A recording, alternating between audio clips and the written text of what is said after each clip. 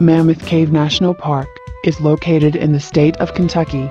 It has the world's largest network of natural caves and underground passageways, which are characteristic examples of limestone formations.